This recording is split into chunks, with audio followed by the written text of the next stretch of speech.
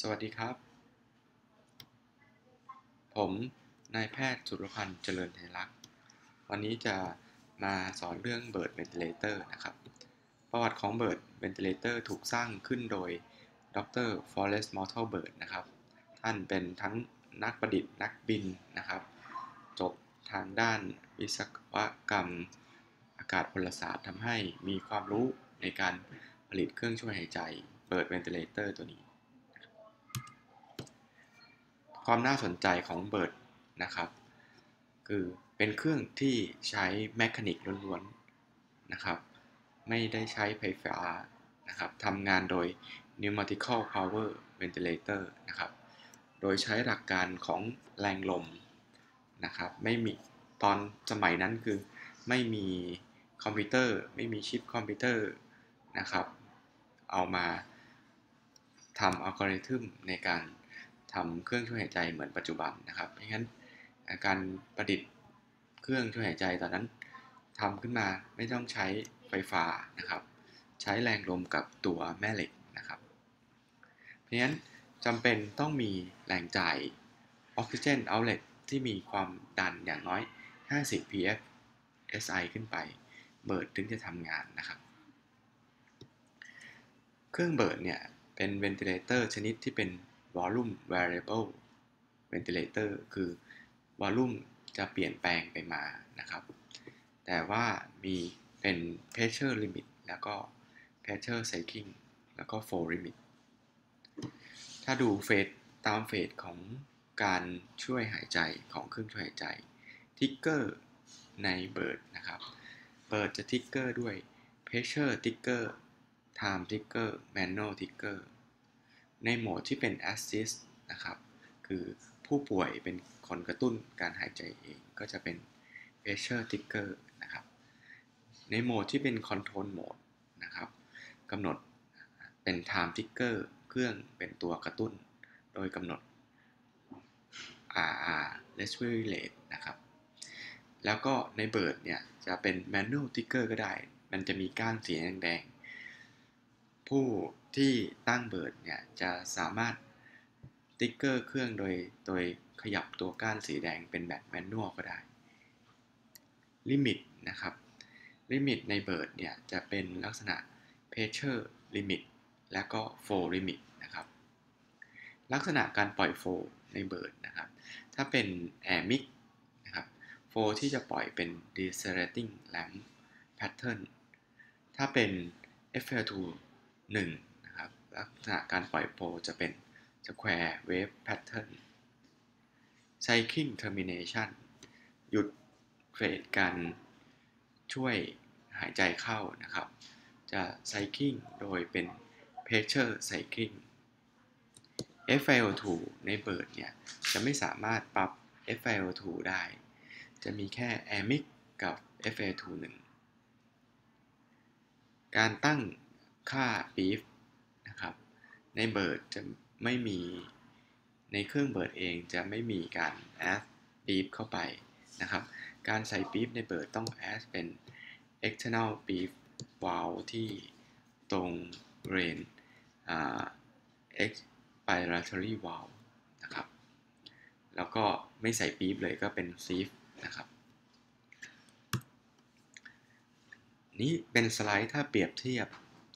เบิร์ด Volume Control Ventilator หรือ VCV PCV Pressure Control Ventilator จะเห็นว่าสิ่งที่แตกต่างกันนะครับ ก็คือ Tidal Volume นะครับ ในเบิร์ดจะ variable เหมือนกับ PCV แต่ VCV แต่ VCV นะครับ เป็น Volume การันตีนะครับ ต้องเซต Tidal Volume Pressure ในเบิร์ด นะครับ เราต้อง set pressure PCV set pressure แต่ VCV pressure จะ variable ตาม ตามเปลี่ยนแปลงไปขึ้นกับ compliance และ resistance ของปอดคนไข้นะครับ peak flow นะครับ peak flow ตัวใน VCV เราต้อง set peak flow PCV จะ variable ขึ้นกับแรงการดูดของคนไข้ ส่วนเบิร์ดเราต้องเซตนะครับ เพราะฉะนั้นจะเป็น flow limit flow waveform นะครับ VCV เราสามารถเลือกได้ในบางรุ่นของเครื่องช่วยหายใจ PCV จะเป็น decelerating waveform ในเบิร์ดถ้าเป็น air mix จะเป็น decelerating ถ้าเป็น FI21 จะเป็น square waveform instability time นะครับ instability time VCV จะ variable ตาม tidal ร่วมกับ flow แล้วก็ flow pattern ส่วน PCV เราต้อง set set instability time ส่วน bird นะครับ ก็จะ vary ขึ้นกับ pressure ขึ้นกับ flow I ต่อ E ก็จะคอยตามไปกับ instability time sensitivity นะครับ ก็สามารถ ตั้งเป็น patient ticker หรือ time ticker นะครับ ได้เหมือนกันทั้งทั้ง 3 ชนิด โครงสร้างภายใน Bird นะครับ อันนี้จะเป็นโครงสร้างภายใน Bird คร่าวๆนะครับ เดี๋ยวมาดูกันนะครับแนวคิดในการสร้าง Bird นะครับ การสร้าง Bird Bird เนี่ยจะถูกแบ่งออกเป็น จะเห็นว่ากล่องสีเขียวเนี่ยจะแบ่งออกเป็นสองข้าง ด้านหนึ่งเรียกว่า pressure chamber ด้านหนึ่งเรียกว่า ambient chamber ทางด้านขวามือของเราเนี่ยจะเป็น pressure chamber pressure chamber เนี่ยจะต่อเป็นระบบกับตัวเนื้อหลังกับตัวปอดนะครับ pressure chamber จะต่อเป็นระบบปิดต่อเข้ากับทิวเข้าในตัวปอดของคนไข้นะครับ ส่วนใน ambient chamber นี้จะต่อกับบรรยากาศข้างนอกนะครับ โดยที่จะมีเมื่อว่ามีแผ่นไดอะแฟรมบางๆนะครับ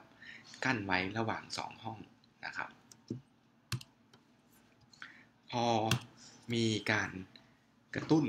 คนไข้มีการกระตุ้นการหายใจเข้านะครับ โดยที่ไดอะแฟรมดึงลงอินตาพูรัลเพรสเชอร์เป็นลบทำให้ ตัว aura pressure เป็นลบตามมานะครับ เพราะฉะนั้นเมื่อทิ้วต่อเข้ากับตัว pressure chamber ทำให้ pressure chamber กลายเป็น negative นะครับ พอใน pressure chamber เป็น negative แผ่น diaphragm เนี้ยก็จะถูกดึงมาทางด้าน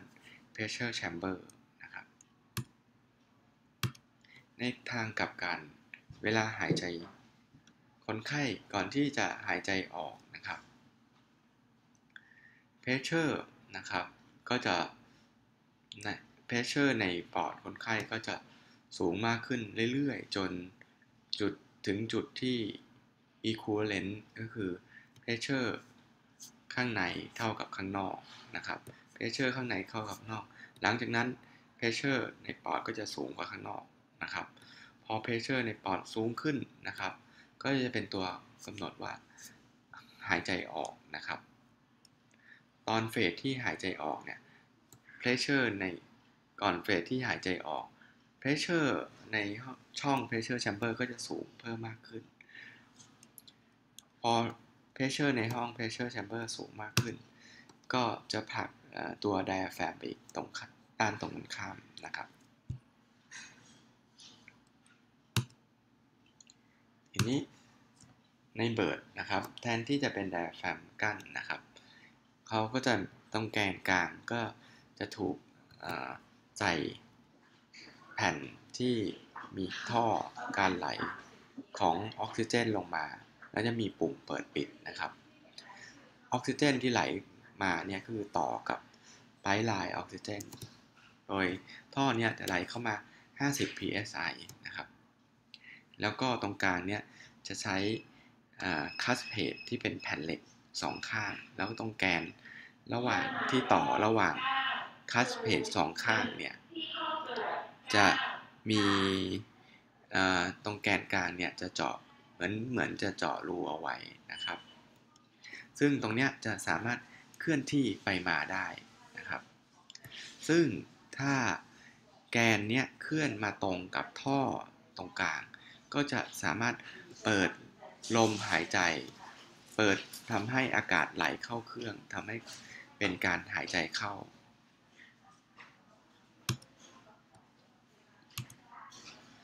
อันนี้เป็นรูปตัวอย่างของจริงนะครับ ซึ่งเป็นตัวแผ่นแกนกลางของเครื่องนะครับ อันนี้คือถ้าเราแกะออกมาจะเป็นแผ่นเหล็ก นะครับ เป็นจานแผ่นเหล็กสองข้าง อันนี้เป็นไดอะแฟมสีดำๆนะครับ แล้วจะเห็นว่าตรงกลางของแกนที่มันวิ่งไปวิ่งมาเนี่ย จะเห็นว่ามีช่องว่างนะครับ เล็กๆ ตรงนี้นะครับ ซึ่งถ้าตรงท่อตรงกลางเนี้ยแผ่นตรงกลาง ถ้าสังเกตส่องเข้าไปในรูก็จะเห็นว่ามันจะมีตัวมีรู นะครับ มีรูเล็กๆที่เจาะไว้นะครับ ถ้าแผ่นตัวหน้าเหล็กเนี่ยเคลื่อนมาตรงกันก็จะเปิดทำให้ลมหายใจเข้าไปสู่คนไข้ได้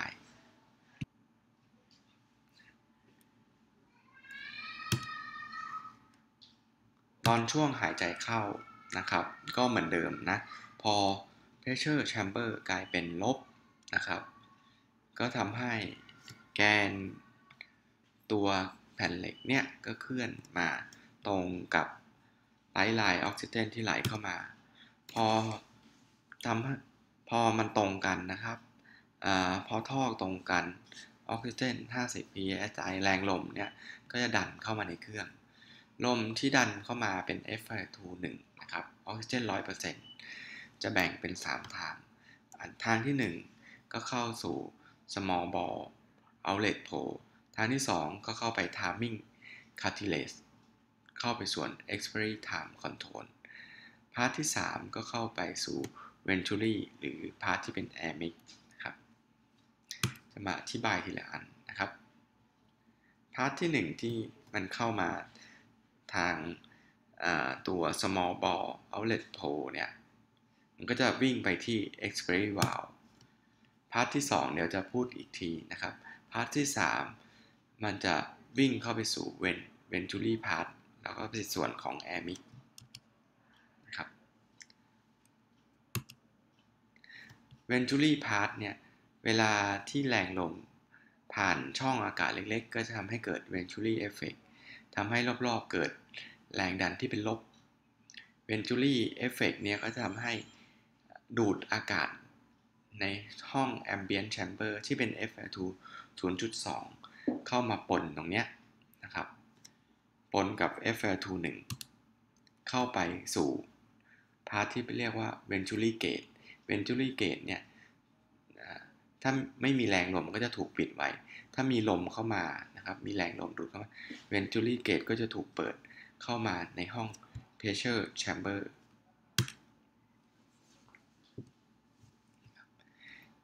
ส่วนที่เป็น ที่วิ่งเข้ามาใน small ball outlet pole ตัวเนี้ยเห็นว่าสายที่มันจะมีสายเล็กๆ วิ่งเข้ามาที่ expiry valve control expiry valve เนี่ยเวลาที่เปิดให้ลมหายใจเข้ามาเนี่ยมันก็จะไปท่อเนี้ยจะทำให้ลูกโป่งใน expiry valve ขยาย ขึ้นมาปิด expiry valve ไว้ทำให้อากาศที่ไหล ผ่านเข้ามาผ่านทางด้าน last bowl นะครับ เข้าไปทิ้วคนไข้นะครับ ไม่ได้ออกไปทาง expiry valve ตอนเวลาคนไข้หายใจออกนะครับ จะไม่มีลมเข้ามาใน small bore outlet port ทำให้ลูกโป่งแฟบ ลูกโป่งตรงนี้แฟบก็จะเปิด expiratory valve ออก ลมหายใจออกคนไข้ก็จะออกผ่านทาง expiratory valve ได้ อันนี้ใน part ที่วิ่งเข้ามา venturi ที่บอกตอนแรก รอบๆของเวนจูรี่จะเป็นเนกาทีฟนะครับทำให้ดูดอากาศจาก Ambient Chamber FR2 0.2 จากข้างนอกเข้ามา ผสมเข้าไปเปิด Venturi Gate เข้าไปใน Pressure Chamber ในห้องของ Pressure Chamber แอร์จะเป็น Air Mix คือผสมระหว่าง FR2 1 และก็ FR2 0.2 ซึ่ง ตรงเนี้ยจะออกไปทางด้าน large bore เข้าไป tube คนไข้เข้าไปในปอดคนไข้ ทีนี้ถ้าเราต้องการ FiO2 1 นะครับแล้วก็ปิดตัว air mix นะครับ air mix รูที่เข้า air mix ทำให้ไม่มี FiO2 0.2 เข้ามาผสมนั้น ลมที่เข้ามาในห้องตรงนี้ ก็จะมีเหลือแต่ FiO2 1 นะครับ ซึ่งจะเห็นว่าถ้าเราปิดตรงนี้ flow ที่ได้จะต่ำลงมากนะครับ เพราะว่ามันไม่มี air mix เข้ามา อากาศไหลผ่านแค่ท่อเล็กๆ ในตัวเปิดนะครับ flow ที่ได้จะต่ำลง part ที่ 3 ที่เวลาเราเปิดทำให้รูตรงกันแล้วมันไหลเข้ามา part ที่ 3 ลมมันจะไหลเข้าไป part ที่เป็น timing cartridge ตัว timing cartridge เนี่ยเป็นเหมือนห้องตัวหนึ่ง แล้วก็จะมีตัว expiratory time control ตัวเนี้ยเป็นตัวเปิดปิดให้ลม leak ออกจากห้องนี้เร็วหรือช้านะครับ ถ้าเปิดมากลมก็ลีกเร็ว ถ้าเปิดน้อยลมก็ลีกช้านะครับ เดี๋ยวจะดูรูปถัดไปนะครับ อันนี้เวลาเราหมุนปรับ expiry time control ในโหมด ถ้าเราตั้งเป็นโหมด AC คือ Assist Control นะครับ นั่นหมายความว่ามีทั้งเป็น Time Ticker นะครับมี Patient Ticker ครับ เวลาที่มีลมหายใจ เวลาที่คัสเพดเลื่อนกันมา ท่อมันตรงกันนะครับ ลมหาย ใจ ลมเข้ามาในเบิร์ดก็จะวิ่งเข้ามาในห้อง timing cartilage ห้อง timing cartilage เนี่ยพอลมหายใจเข้ามาห้อง timing cartilage มี pressure pressure ตัวนี้ก็จะไปดันวาล์วให้เปิดออกนะครับ ดันวาล์วให้เปิดออก เวลาที่ตัดกลับมาเป็นการหายใจออกจะไม่มีลมเข้ามาเติมนะครับ แต่ว่าห้องนี้ก็ยังมีแรงดันบวกอยู่นะครับ ซึ่ง expiry time control เนี่ยเป็นการเปิดวาล์วที่ control ลมออกที่ไหลออกจาก timing cartridge นะครับ ในช่วงที่หายใจออก part เนี้ยนะครับ พอตอนที่หายใจออกเนี่ย จากเดิมที่มันเป็นบวกนะครับ ความดันที่เป็นบวกก็จะลบ ลบลบลงไปเรื่อยๆนะครับ จน pressure ในเนี้ยเป็นศูนย์นะครับ พอ pressure เป็นศูนย์ปั๊บตัว timing arm ก็จะมาตีกลับมามา trigger ทำให้ตัว clutch plate เลื่อนเข้ามา เลื่อนเข้ามาตรงกับรูที่ออกซิเจนไหลเข้ามา ก็เป็นการเปิดทำให้ รื่องช่วยหายใจหายใจอีกครั้งงั้นจะเห็นว่าการปรับตัว expiry valve control ก็เหมือนกับการตั้งเวลานะครับ ให้มีการติ๊กเกอร์เครื่อง เรียกว่าเป็น time ticker นะครับ ยิ่งเราเปิด expiry valve ที่กว้างทำให้ลมไหลออกได้เร็ว ก็จะเป็นการตั้ง respiratory rate ที่เร็วนะครับ ถ้าปรับ expiry valve ให้มีการลีกช้านะครับ expiry time นาน ก็จะเป็นตัวที่จะตั้ง respiry rate ให้ช้า อีกแบบหนึ่ง ถ้าเราปิดปิด expiry valve ไปเลยนะครับ ถ้าเราปิด expiry valve ไปเลย จะเห็นว่าจะไม่มีการไหลออกของอากาศจากตัว timing cartilage ทำให้ใน timing cartilage นี้มันเป็น positive ตลอดเวลา พอในความดันนี้เป็น positive ตลอดเวลา มันก็จะเป็นฐานทำให้ตัว timing arm เนี่ยไม่ตีกลับมากระตุ้นเครื่องนะครับ เราปิดไปก็จะเป็นการตั้งเครื่องช่วยหายใจแบบ assist mode อย่างเดียว ไม่มี time ticker การปิด expiry valve ไปเนี่ย ก็จะเป็น assist mode นะครับ ผู้ป่วยติ๊กเกอร์ อย่างเดียวไม่มี time ticker ทีนี้เราเวลาหายใจออกนะครับ ใน pressure chamber นะครับ ก็เป็นบวกก็จะดันนะครับทำให้คัสเพจเลื่อนกลับมา พอเลื่อนกลับมารูตรงเนี้ยมันไม่ตรงกัน ก็จะตัดทำให้ลม จากออกซิเจนที่ไหลเข้ามาไม่สามารถไหลเข้ามาได้นะครับ ก็จะเป็นขบวนตัดไปสู่การหายใจออกนะครับ expiry valve ก็จะถูกเปิดออกนะครับ ลมหายใจของคนไข้ก็จะออกทาง expiry valve ทีนี้เราจะใช้แรงดันเท่าไหร่ในการดันทำให้แผ่นคาสเพดเนี่ยเคลื่อนไปเคลื่อนมา จะใช้แรงดันเท่าไหร่ก็เราก็ใส่แม่เหล็กเข้าไปนะครับ ทีนี้มาดูด้านทั้งสองด้านนะครับ เราใส่แม่เหล็กเข้าไปทั้งสองด้านในท่านด้าน century arm และ pressure arm แม่เหล็กเนี่ยเป็นตัวแรงดูดของแม่เหล็กเนี่ยยิ่งใกล้ ก็ยิ่งมีแรงดูดมาก ยิ่งห่าง ก็ยิ่งมีแรงดูดน้อยนะครับ อันนี้จะเป็นภาพให้เห็นของจริงว่าแม่เหล็ก อันนี้คือแม่เหล็กสองข้างนะครับคาสเพดที่เป็นแผ่นเหล็กนะครับมาดูด้านด้านอีกอันหนึ่งที่ต้องดูก็คือ pressure gauge นะครับ pressure gauge มันวางอยู่ทางด้าน ambient chamber ก็จริง แต่ไอตัวเนี้ย pressure gauge มันเป็นการวัด pressure ในห้อง pressure chamber นะครับ มันจะมีตัวต่อเข้า ตัวต่อเข้ามาห้อง pressure chamber นะครับทีมาดูด้าน sensitivity นะครับ เวลาเเราปรับ sensitivity นะครับ sensitivity ถ้าสมมติว่าเเราปรับ sensitivity ให้คนไข้ดึงง่ายนะครับ ดึง หายใจออกแรงนิเกทีฟเล็กน้อยคัสเพดก็เคลื่อน ก็หมายถึงว่าเราเคลื่อนตัวแม่เหล็กให้ห่างออกจากตัวคัสเพดตัวนี้นะครับ แต่ว่าถ้าเราต้องการ sensitivity ที่หนักขึ้น หมายความว่าต้องออกแรงดึงที่มากขึ้นก็ปรับเคลื่อนตัวแม่เหล็กให้เข้าใกล้กับตัวคัสเพดมากขึ้น อันนี้มาดูของจริงนะครับ เวลาเราปรับ เรา decrease sensitivity โยก sensitivity arm ไปทางด้านหลังนะครับ จะทำให้ตัวแม่เหล็กเคลื่อนห่างจากตัวคัสเพดออกมา เวลาเรา increase sensitivity trigger นะครับ เราโยก sensitivity arm มาทางด้านหน้า ตัวแม่เหล็กก็จะเข้าใกล้คัสเพดมากขึ้นนะครับ เวลาเราปรับเราก็ดู ใน pressure gauge นะครับ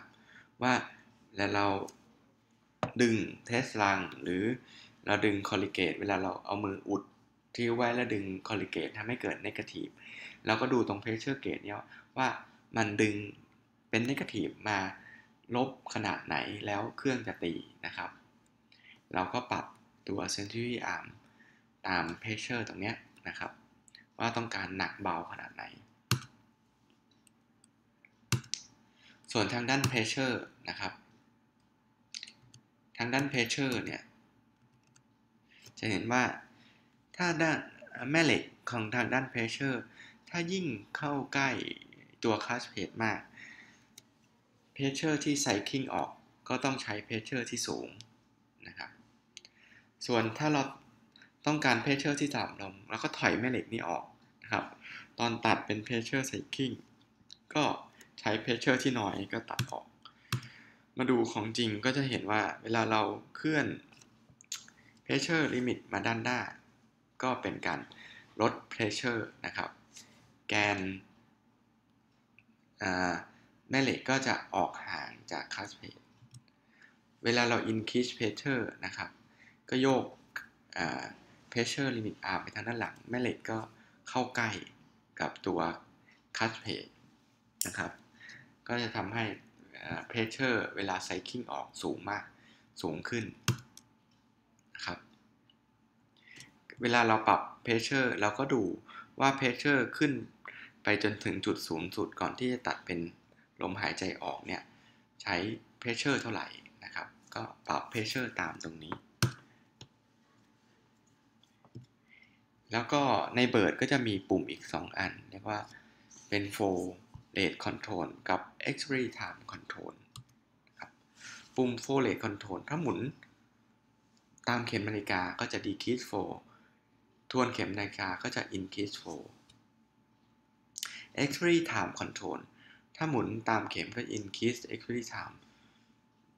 ทวนเข็มก็ decrease expiry time flow rate นะครับ เวลาเราปรับเพิ่ม flow rate ตรงไปตรงมาก็จะทำให้ expiry time สั้นลง เวลาปรับลด flow rate นะครับ ก็จะทำให้ expiry time นานขึ้น แต่ที่นี้ทีนี้มีคำถามว่า tidal room จะเป็นยังไง นี่เป็นหลายสิ่งที่คนเข้าไปใจผิดว่าปรับโฟแล้วจะมีผลต่อไทดอลวอลุ่มเหรอ ปรับโฟในเบิร์ดมีผลต่อไทดอลวอลุ่ม การปรับโฟในเบิร์ดมันไม่เหมือน VCV ใน VCV เนี่ยเพจตัว tidal volume จะคงที่เพราะ VCV เป็น volume guarantee นะครับ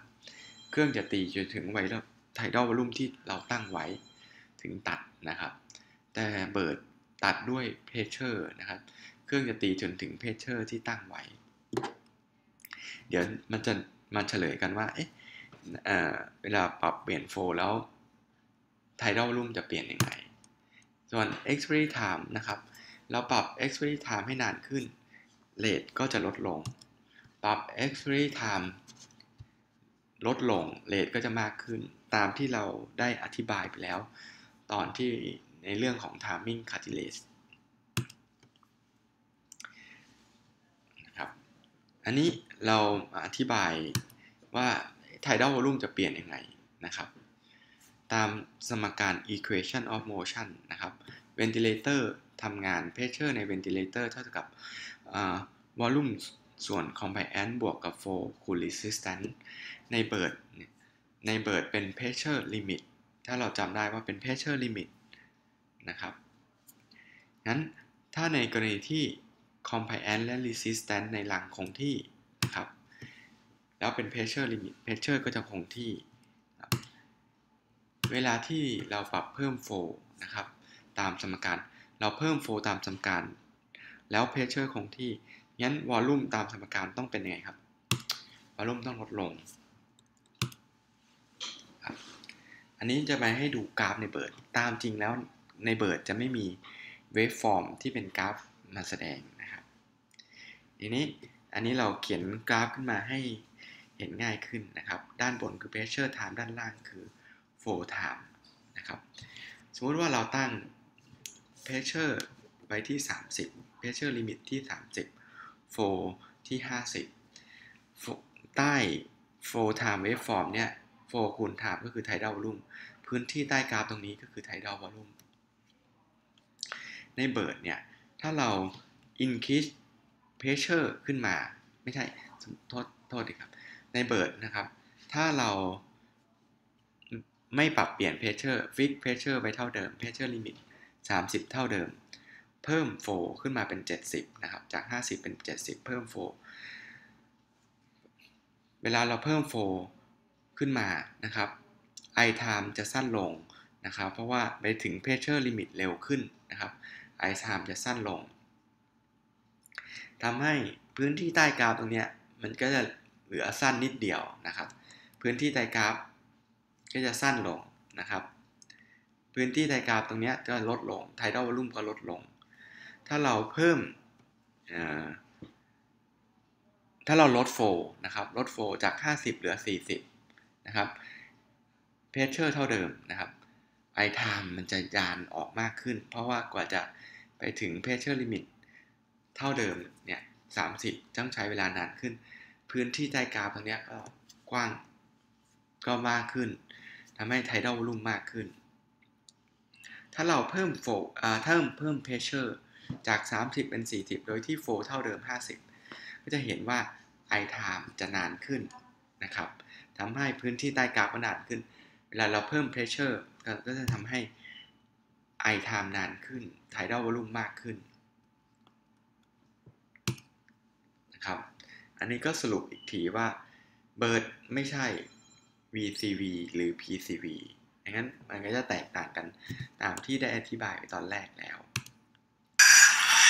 อันนี่นี้จะนะครัให้บเห็นอ่าของเมื่อเราตั้งจเบิร์ดให้เพเชอร์อยู่ที่ประมาณ 12 ในลายนี้นะครับ แล้วก็ตั้งโฟนะครับอยู่ที่ประมาณ 9 นาฬิกานะครับโฟอยู่ที่ 9 นาฬิกาแล้วสังเกตว่าไทด a ลวอลลุ่มที่ได้นะครับอยู่ประมาณ 400 นิดๆนะครับtidal volume 400 ทีนี้เราลด flow นะครับ ลองลด flow ดู สังเกตว่าพอลด flow ดู pressure ยังเท่าเดิมนะครับ แต่ได้ยินเสียง I time นานมากขึ้น แล้วมาสังเกตไทด a ลวอลลุ่มนะครับ tidal volume เพิ่มจากเดิม 400 จะเห็นว่าตอนนี้ไทด a ลวอลลุ่มอยู่ประมาณ 600 นะครับ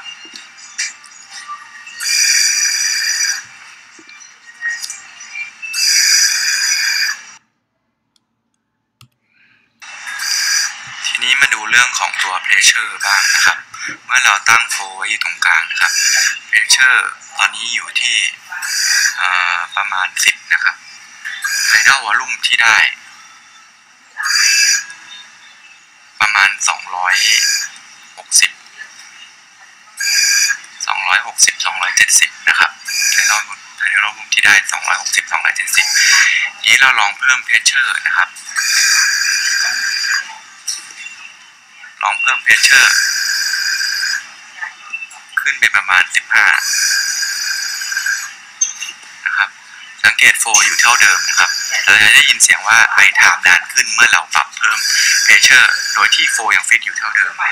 แล้ว tidal volume นะครับ เพิ่มขึ้นมาเป็น 600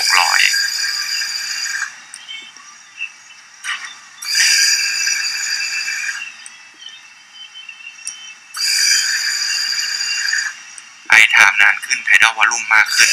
โดยที่ flow เท่าเดิม ตอนที่เราเพิ่ม pressure นั้นสรุปการตั้ง Bird นะครับ ถ้าเราตั้งแบบเป็น Assist Control โดยที่หมายความว่ามีทั้ง Patient Trigger แล้วก็มี Backup Rate ไว้นะครับ ก่อนที่จะต่อเครื่องเข้าสู่ผู้ป่วยนะครับ แล้วก็ต่อวงจรทั้ง Bird ทั้งหมดเข้ากับตัว test lung หรือว่าเราจะใช้มืออุดตรงท่อที่ออกแล้วก็ ลมให้สนิทก็ได้นะครับ แล้วก็หลังจากนั้นเราก็ปรับ Pressure Limit Arm แล้วก็ Flow Control Rate ไว้ตรงกลางนะครับ เปิดเครื่อง Master Switch ให้ on นะครับ ปรับปุ่ม Expiry Time Control นะครับ Control Expiry Time เนี่ย หมุนไปทางด้านตามเข็มนาฬิกาจนสุดเป็นการ off expiry time นะครับ เพื่อเป็นการตัดไม่ให้มี time ticker มากวนเวลาเราตั้ง sensitivity นะครับ หลังจากนั้นเราก็เริ่มปรับ sensitivity นะครับ โดยปกติเนี่ย โดยส่วนตัวจะวิธีการปรับก็จะดันตัว sensory arm ไปทางด้านหลังสุด คือเคลื่อนให้แม่เหล็กห่างจากตัว clutch plate ให้มากที่สุด นั้นตอนแรกเนี่ยจะมี auto trigger เราก็ค่อยๆปรับ sensitivity arm มาทางด้านหน้า จนไม่มี auto trigger นะครับ จนใช้ pressure ที่ ใช้แรงต่ำสุดที่ไม่มี auto trigger นะครับ ลองสั่นๆดูนิดหน่อย ว่าเครื่องมันไม่มีการตีขึ้นมาเอง แล้วหลังจากนั้นเราก็ลองดึง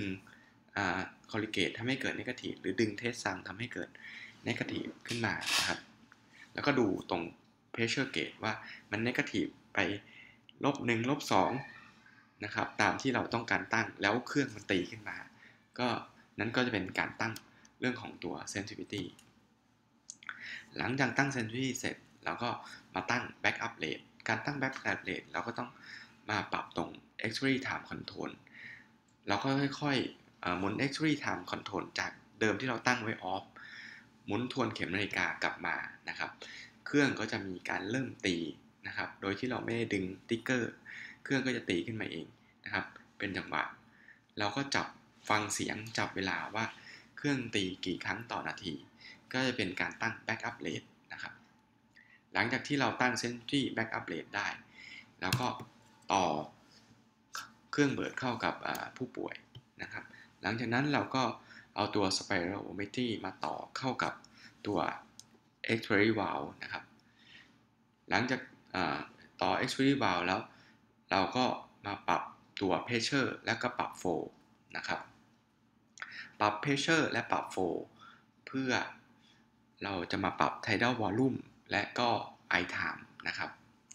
อันนี้ก็จะให้เห็นว่าที่อธิบายไปแล้วว่า เวลาเราปรับ tidal volume นะครับ ตัวที่มีผลต่อ tidal volume คือ pressure และก็ flow rate นะครับไม่งั้นเราต้องปรับทั้ง 2 ตัวไปพร้อม ๆ กันนะครับ i time ก็เหมือนกันทั้ง pressure ทั้ง flow rate นะครับ ก็มีผลต่อ i time นะครับ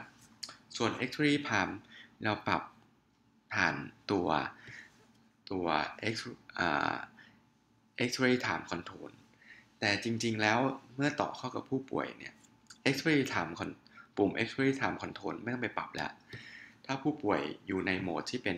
assist control ผู้ป่วยติ๊กเกอร์เครื่องเองเนี่ย เราไม่สามารถ control x-ray time ได้นะครับ เราจะ control x-ray time ได้ ก็ต่อเมื่อคนไข้อยู่ในโหมดที่เป็น control mode ผู้ป่วยไม่มีการติ๊กเกอร์เครื่องเองนะครับ เราจะถึงจะปรับ x-ray time เราจะปรับเพราะฉะนั้นเราปรับเมนอยู่ที่ injury time นะครับโดยการปรับ pressure และก็ flow rate นะครับตามกราฟที่เอ่อ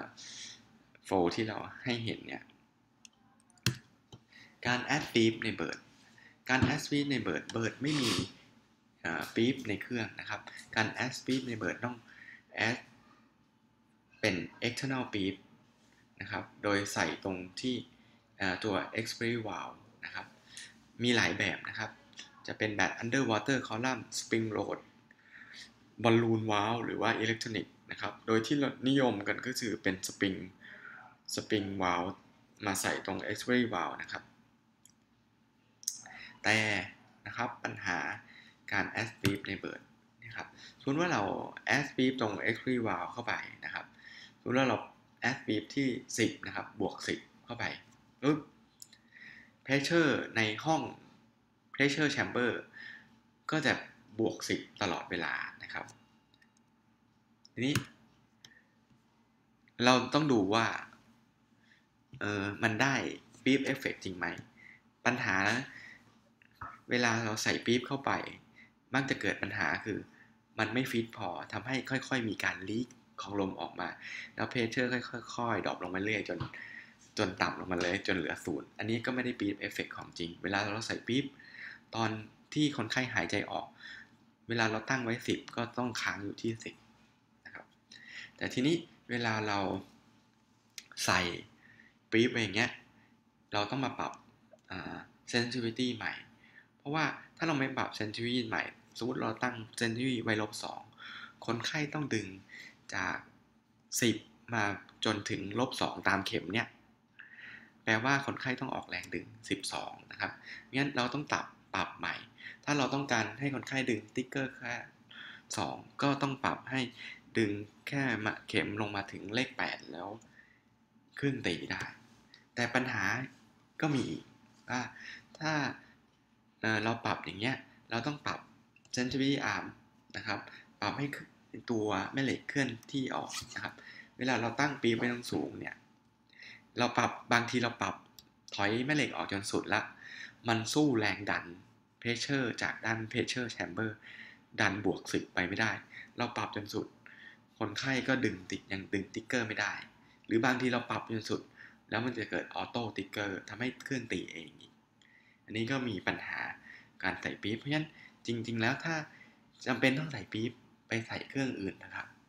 ไปใส่เครื่องเครื่องอื่น ถ้าไม่มีจริง ๆ ถ้าไม่มีจริง ๆ เราจะทำไง เราต้องปรับเป็น control mode คือ sedate คนไข้นะครับ sedate ให้คนไข้ไม่มีการ trigger เครื่องเลย เป็น time trigger อย่างเดียวนะครับไม่ให้คนไข้มีการ trigger ก็จะไม่มีปัญหาในการปรับ sensitivity นะครับ ในการปรับ FL21 เราได้พูดไปแล้ว เราปลดการปรับ FL21 โดยการปิด Air Mix นะครับ แต่ว่าปัญหาคือเวลาที่เป็น Air Mix เราเปิดช่องให้ Air Mix เข้ามาเนี่ยโฟที่ได้มันอยู่ประมาณ 80 ลิตรต่อนาทีนะครับ ก็เพียงพอบางเพียงพอต่อคนไข้ในภาวะปกติทั่วไป แต่เวลาเวลา on FL2 1น่ะ คนไข้ที่ on FL2 1คนไข้ก็มักจะหอบเหนื่อย เราถึงจะใส่เพิ่ม FL2 ใช่ไหมเวลาคนไข้หอบเหนื่อย บางทีต้องการนิดนิดโฟที่สูงขึ้นไปถึง 100 ลิตร per minute เนี่ยแต่ว่าเวลาเราปิดวาล์วตรงเนี้ยปิดหัวหัวแอปิดแอร์มิกนะครับflow ที่ Bird จะตีได้จะลดลงมาเหลือน้อยกว่า 50 ลิตรต่อนาที ทำให้เวลาเราปิด air mix เข้าไปเนี่ย ปรับเป็น FiO2 1 เกิดปัญหา flow starvation flow ไม่พอใน Bird นะครับ การแก้ปัญหาตรงนี้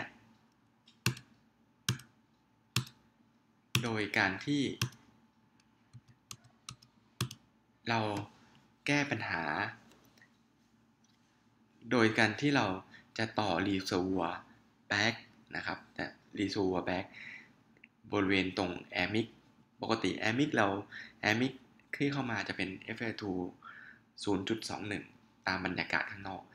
เราก็เปลี่ยนใหม่ เราก็ใช้ reservoir มาครอบมันเข้าไป แล้วก็เปิดออกซิเจน FL21 เข้ามาในถุงreservoir bag เนี่ยให้ออกในถุงเนี่ยมีออกซิเจน FiO2 1 เวลามันดูด air mix เข้าไปแทนที่มันจะดูดบรรยากาศก็ดูด FL21 เข้าไปผสมกับ FL21 ที่ได้อธิบายมาตอนแรกนะครับ ก็จะได้ทำให้วิธีแบบนี้จะทำให้ flow ได้เท่าเดิมนะครับ เหมือนกับเราใช้ air mix ตามปกติ สิ่งที่ต้องระวังในเบิร์ดนะครับ เบิร์ดไม่มีจอแสดงผลนะครับ ไม่มีเวฟฟอร์มนะครับ ไม่สามารถวัด Compare Resistance ได้ การตั้งเบิร์ดนะครับ เรา ต้องสังเกตนะครับ คนไข้สังเกต Ventilator ดูที่ Pressure Gauge นะครับ แล้วก็จับเวลาจับ Respiratory Rate จับเวลา Eye Time แล้วก็มาจินตนาการดู Pressure Gauge จินตนาการ Flow Waveform เองได้ Pressure Waveform เองได้นะครับ ฟังเสียง ปรับปุ่มใน Bird scale ในใน Bird ต่าง นะครับ ไม่ใช่สเกลตรงนั้น pressure 20 ไม่ใช่อยู่ตรงกลางนะครับ เราต้องดูที่ pressure gauge เพราะว่าที่อธิบายไปแล้วมันใช้แรงแม่เหล็ก สนามแม่เหล็กหรือว่าแรงดูดของแม่เหล็กมันเปลี่ยนแปลงได้นะครับ Bird ไม่มีอุปกรณ์ฆ่าเชื้อโรคนะครับ Bird ไม่มี alarm นะครับ งั้นอาจจะเกิดปัญหา volutrauma นะครับ ได้ต้องมาวัด spirometry เรื่อยๆนะครับ ไม่มี apnea alarm ไม่มี high respi rate alarmเวลาตั้ง Bird ไม่ควรจะปิดตัว expiratory time control ไปเลยนะครับ เพราะฉะนั้นมันจะไม่มี backup rate แล้วคนไข้เกิด apnea เครื่องจะไม่ทำงาน เวลาการ add PEEP เราก็อธิบายแล้วมักจะมีปัญหาจากการแอดปีฟเวลาใส่ FL21 ก็จะมีปัญหาโฟไม่พอต้องแอดมินั้นเวลาเราคนไข้ใส่ FL21 นะครับ เราบอกว่าเราแก้ไขโดยใส่reservoir bag เข้าไปได้ แต่คนไข้ที่ on FiO2 1 เราเพิ่ม FiO2 อย่างเดียวมันไม่แก้ physiologic เวลาคนไข้ใส่ FiO2 1 เรามักจะต้อง add PEEP add PEEP ก็จะวนกลับเข้าไปมีปัญหาฉะนั้นคนที่ต้องการ FL2 สูงนะครับ ก็ควรที่จะไปใส่เครื่องช่วยหายใจ เครื่องรุ่นใหม่ ๆ ที่มันมีปี๊บปรับ FL2 ได้ ปัญหาที่พบบ่อยใน Bird ก็คือ เครื่องไม่ทำงานก็อาจจะเกิดจากไม่เปิดเครื่องออกซิเจน supply ไม่ถึง 50 psi เครื่องเสียนะครับ ineffective tiggering ไม่สามารถติ๊กเกอร์เครื่องเองได้ก็คือ อาจจะเกิดจากการตั้ง sensitivity ที่ต่ำไปผู้ป่วยมี auto PEEP นะครับ Bird ไม่รู้นะครับ มันก็คนไข้ไม่สามารถ trigger เครื่องเองได้ การใส่ external ปีบผู้ป่วยก็จะ ติ๊กเกอร์เครื่องเองไม่ได้ตามที่ได้อธิบายแล้ว หรือผู้ป่วยไม่มีแรงนะครับ เกิด auto trigger นะครับ ก็เกิดจากการตั้ง sensitivity ที่ต่ำไปนะครับ มีน้ำใน circuit นะครับ ไหลไปมาก็กระตุ้นทำให้กระตุ้น trigger ได้นะครับ inspiratory time ที่นานเกินไป ก็เกิดจากการตั้ง pressure นะฮะที่สูงเกินไป หรือว่ามีการ leakage การ leak ตั้งแต่ห้อง pressure chamber ทิ้วไปถึงตัวที่ต่อกับคนไข้ ตัว circuit cuff leak นะครับ หรือในการ leak ในตัวปอดของไข้ที่ leak มากๆ bronchopleural fistula ก็ pressure ในเพห้อง pressure chamber มันไม่ถึงpressure cycling ก็ไม่ตัดเป็นลมหายใจออกนะครับ หรือ I I time สั้นไปก็เกิดจากการ dyssynchrony compliance ลดลง resistance สูงขึ้น หรือเราตั้ง flow เร็วไป pressure เราตั้ง pressure limit ต่ำไป expiry time ที่นานก็เกิดจากการตั้ง expiratory time control นานไป airway resistance ที่สูงเกินไป อันนี้เป็นวิดีโอให้เห็นว่ามี ineffective filtering เราต้องสังเกตคนไข้นะครับ คนไข้มีการหน้าอกขยับนะครับ เป็นจังหวะแต่เครื่องเบิดไม่ตีนะครับคนไข้มีหน้าอกขยับ พยายามติ๊กเกอร์การหายใจจะเบิดไม่ตี อันนี้ก็คือ ineffective tickling นี่เป็นตัวอย่างของ force starvation เวลาสังเกต force starvation ต้องฟังเสียงนะครับปกติเสียงเบิร์นจะฟู่ขึ้นไปจนถึงสุดเลยทีเดียว แล้วก็ดู pressure gauge มันจะตีไปตีมาไม่ถึง ขึ้นไปไม่ถึงสุดทีเดียว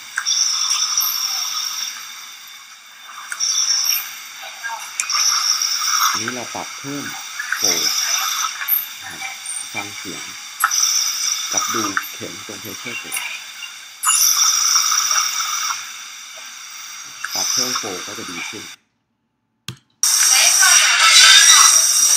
อันนี้จะเห็นสังเกตว่าเรา on หัวร้อยครับ